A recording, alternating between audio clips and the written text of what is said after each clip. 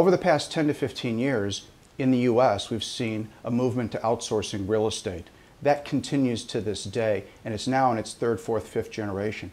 In Europe, we're now in the first generation, in early stages of corporate real estate, centralizing in order to get control of the real estate and make effective change happen.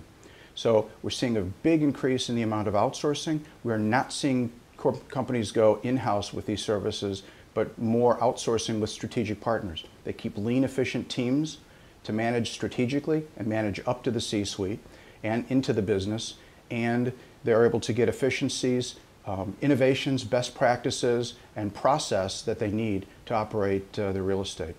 One of the first things we see corporates uh, outsource today is lease administration or data management. It's the foundation to what they do to drive value. They need the data, they need analytics, and they need to capture this information. From that, they can affect a utilization of space, portfolio analysis, and transactions around the real estate to right size their portfolios and impact the workplace.